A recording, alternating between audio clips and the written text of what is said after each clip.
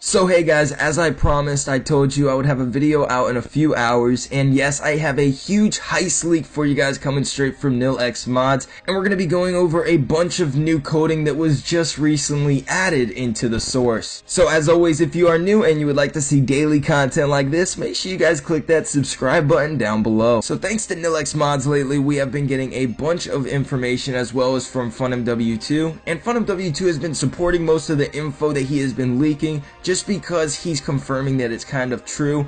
And basically, he has leaked a bunch of information today that was recently added to the source code on Heist. So let's get into this, and we're going to start off with the first bit of coding we got here. Apply JF contact, which is used to add the contact Jeff to your contact list. Apply LS2 contact, which is the next bit of coding, used to add the contact Lester, still unknown contact name, to your contact list. Next bit of coding we got here is set avalanche, and this will set an avalanche in a specific area on the map while playing a heist mission with this setting. This is a new feature for current gen platforms. From our sources, this will not be available on the last generation platform. So that's really awesome. We will be able to set an avalanche somewhere around the map during the heist mission if we wanted to, to make it a bit difficult.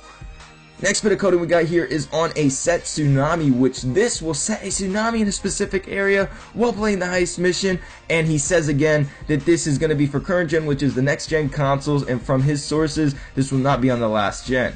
Next bit of code we got here is Lockdown Zone, which this is a new feature allowing certain areas of the map to be cornered off from access by police, military, and other law enforcement. This isn't the same as the current police cones while wanted. Next bit of coding we got here is on the bank CPM render and rendering for a brand new interior located inside a bank premises. So that's really awesome. Player JP metered. This is the job points, which is the JP and is now metered like RP for the use during heist missions from source code. JP can be used to take part in more advanced heists, so that's really awesome. I know people were wondering what the JP meant, and I guess this is what it's going to be used for. Next bit of code we got here is apply Pegasus emergency contact, which is a new contact from the infamous Pegasus, allowing players to order emergency vehicles to their location for the use in heist missions. Next bit of coding we got here is set time emergency vehicle ownership. This is a timer for the amount of time you are permitted to hire an emergency vehicle from our services. Next bit of coding is the health meter pause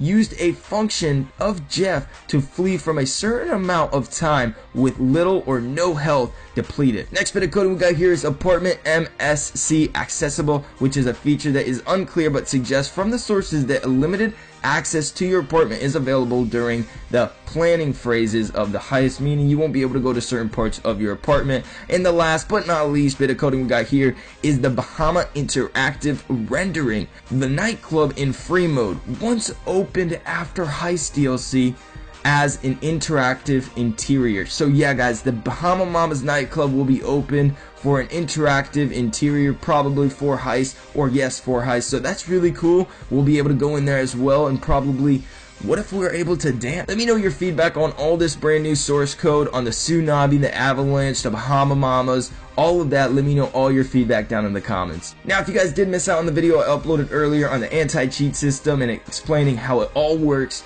definitely go down in the description right now. Don't miss out on that video. I uploaded about only two hours ago, so definitely go check it out. Anyways, guys, this has been Lispy Jimmy. I hope you guys have a rest of a wonderful day, and I'll catch you in the next one.